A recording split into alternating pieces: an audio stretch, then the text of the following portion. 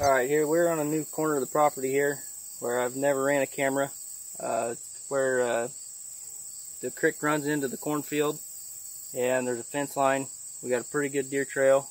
We're going to put the camera up on the north side, kind of eliminate some of the sun glare. Uh, we're going to clean a bunch of these weeds out, throw some monster meal out.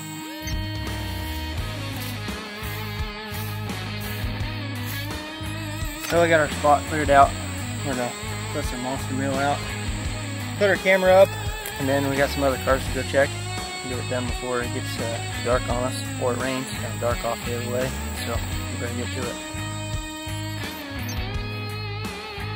You can take my money and these worn out clothes, but I'll be my woman. Here's our first spot. Check camera one. Set it up on, uh, looks like a cherry. I don't know if it's a wild cherry tree or what, but last fall when I was in here scouting around, the bottom two foot of the limbs were just nothing.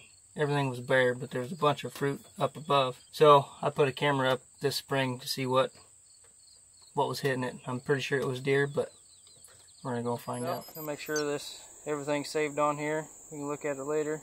Get out of here before we spend too much time. Uh, I got one more card to check. I'm trying to get out of here before dark.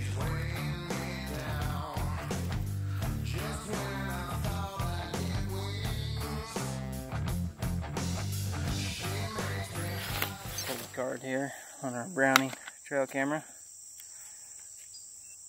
187, that's not bad for a week.